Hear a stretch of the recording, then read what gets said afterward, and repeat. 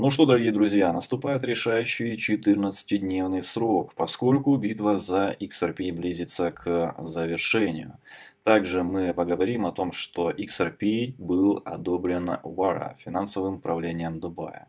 И кроме того, а, стало известно, что американский конгрессмен а, представляет законопроект, который позволяет платить федеральный подоходный налог криптовалютой. Ну и Emerge, один из а, институциональных а, управляющих, а, заявил о XRP нечто довольно-таки интересное. Сегодня мы также обсудим это. Что касается, значит, рынка криптовалют, то за последнее время мы видим, что рынок криптовалют, на мое удивление, восстановился, то есть биткоин вернулся выше 60 тысяч долларов. Сделал он действительно это очень резко, а, лично я не ожидал.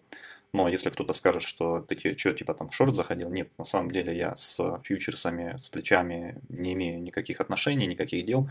Просто я ожидал от рынка дальнейшего снижения, чтобы, возможно, задуматься над тем, чтобы усреднить позицию по XRP. Но так как рынок пока что взял реванш и идет на какое-никакое восстановление, я этого делать не буду. Если мы говорим про а, ситуацию на рынке сейчас, какая атмосфера? А, сейчас атмосфера нейтральная, то есть, а, так как рынок восстановился, люди а, больше сейчас подвержены эйфории, нежели страху, поскольку еще вчера, позавчера, когда рынок падал, действительно на рынке был страх, и многие ожидали отметок биткоина куда ниже, нежели 59 тысяч долларов. Если мы говорим про XRP, то по XRP мы строго торгуемся над трендовой линией, локальной трендовой линией. И, соответственно, пока мы за нее вниз не вышли, а выходили ложно, а, я считаю, что здесь так или иначе а, заинтересованный есть покупатель, и цену намеренно не опускают вниз.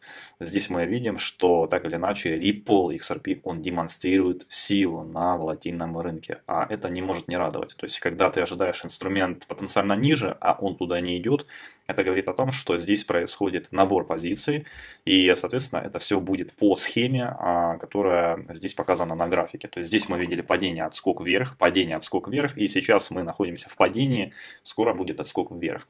Когда? Я думаю, что, скорее всего, это будет на годовщину пампа, поскольку памп XRP, который был в июле прошлого года, практически год назад, он а, довел XRP одной свечой до доходности почти 100%. Поэтому я считаю, что история вполне себе может повториться, а, поскольку мы видим, что здесь уже наступает решающий 14-дневный срок, поскольку битва за XRP накаляется. SEC и Ripple получили срок до 8 июля, чтобы представить суду свои обновленные ходатайства о спорном опечатывании частей их записок по иску XRP. И эксперты в области права говорят, что SEC теперь не меньше заинтересована в скорейшем завершении дела, которое все больше оборачивается против SEC. Победа Ripple подтолкнет XRP к новым высотам.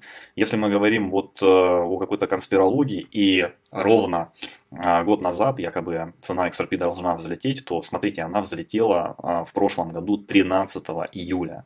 А, что мы видим по датам? То, что здесь SEC и Ripple получили срок до 8 июля. А что будет 8 июля? Они предоставят суду свои обновленные ходатайства. И спустя некоторое время суд решит. Соответственно, я считаю, что памп XRP может быть опять-таки 13 июля, да, то есть потребуется где-то там неделя, возможно больше, чтобы суду вынести какое-то решение. Если оно будет позитивным, то мы увидим такой же рост, как и был в принципе в 2023 году, и даже больше. Все зависит от того, что скажет суд.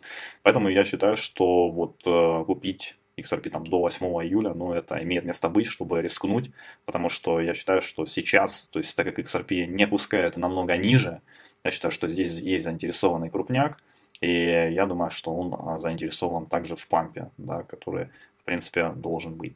А, что также нужно отметить, что XRP был а, одобрен Вейра, а, финансовым управлением Дубая. XRP содержит нефтяные деньги. Ну, то есть, на самом деле, как мы видим здесь на Ripple Swell присутствовал шейх, да, но, тем не менее, в принципе, пока что нету use cases, да, есть только какое-то одобрение, да, если мы будем видеть реальное применение криптовалюты XRP, то тогда уже это будет действительно новость. Что также нужно отметить, что конгрессмен США Мэтт Гитц представляет законопроект, позволяющий платить федеральным подоходный налог биткоинами, и скоро мы сможем платить за всю криптовалюту и, в частности, XRP. И если мы говорим про Emerge, то вот они заявили, что они поддерживают Ripple за его преобразующий потенциал в сфере трансграничных платежей, делая глобальные транзакции более быстрыми, эффективными и экономически выгодными. Соответственно, это, а, скажем так, не пустые слова, поскольку это новаторские управляющие институциональными активами, специализирующиеся исключительно на технологии блокчейн. И, соответственно, у них здесь также есть портфолио. Также они а, вступили сюда в 2012 году, и они находятся в Дубае. Соответственно, это, я считаю, что довольно-таки круто, то, что они о таком заявляют. И инновационный реестр Ripple XRP позволяет осуществлять расчеты и ликвидность в режиме реального времени по требованию, сокращая время и затраты, связанные с традиционными банковскими методами. Также они заявили, что сотрудничая с финансовыми учреждениями по всему миру, Ripple оптимизирует процесс международных платежей, обеспечивая беспрепятственный обмен валюты и повышая прозрачность. Также они верят в концепцию Ripple по созданию ценного интернета, в котором деньги движутся так же легко, как сегодня информация, заявили они. Но это довольно-таки хорошее заявление и далеко не от а, пустых людей, скажем так. Что также нужно отметить, что Дэвид Шварц заявил следующее, то что если стоимость платежей снизится до нуля, то мир изменится, потому что XRP сделает для банковского дела то же, что электронная почта сделала для общения, заявил он. То есть определенно он намекает на прорыв, если это будет. А, ну и стоит отметить, что вице-президент Ripple нарушает молчание по поводу роста XRP Ledger в Корее. И здесь волнение по поводу динамики XRP Ledger в Корее вполне обосновано. А, здесь также говорится, что XRP Ledger переживает значительный рост в Корее. Это событие привлекло внимание рынка. В связи с этим вице-президент Ripple по корпоративной стратегии операциям Эми Йошикава выразила энтузиазм по поводу растущей динамики XRP Ledger в Южной Корее. Этот всплеск интереса особенно примечателен, поскольку все больше предприятий выходит в пространство цифровых активов в поисках надежных платформ корпоративного уровня для поддержки своих инициатив. Ну и в самой последней разработке хранения Infinity Block теперь поддерживает XRP-L, запустив службу хранения XRP Ledger.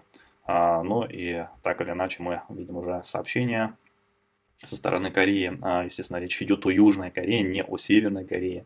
А, глупо понимать то, что некоторые люди думают, что это Северная Корея. Нет, э, речь идет о Южной Корее. О Южной Корее именно та, которая не закрыта, которая приветствует технологии. Да.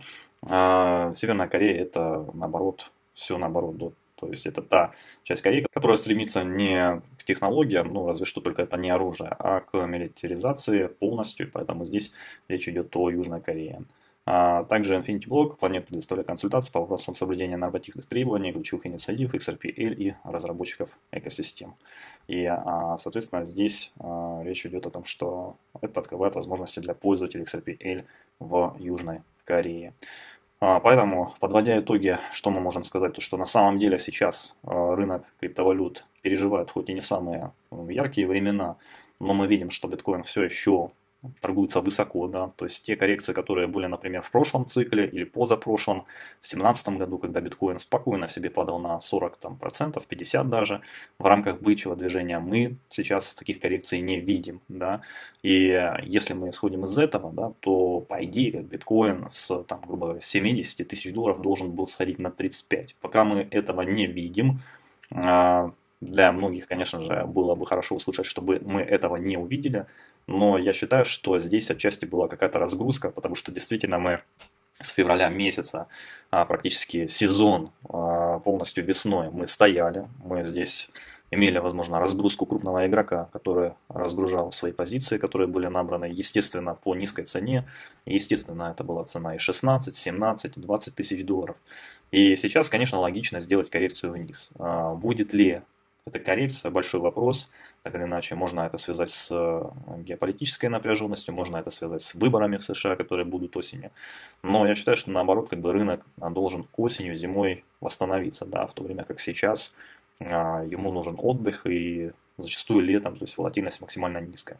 Но будем смотреть, так или иначе. По поводу XRP, здесь понятное дело, что до середины июля здесь, возможно, уже картина, скорее всего, изменится, да, и мы здесь будем а, видеть нечто, что-то новое. Но все, опять-таки, зависит от судебного решения, и, конечно же, дата 8 июля является ключевой, но я считаю, что судебное решение, оно будет, естественно, вынесено позже, 8 июля, и определенно это так. Хотя вот здесь Final Settlement написано, что это July 24. То есть здесь э, почему-то указана дата 24 июля. Но так или иначе, это в принципе, возможно, а, только мнение или только предположение, когда уже а, будет финал. Да? Все зависеть будет от судьи, что она вынесет. Ну, а с вами был Криптофеев, всем удачи и до новых встреч.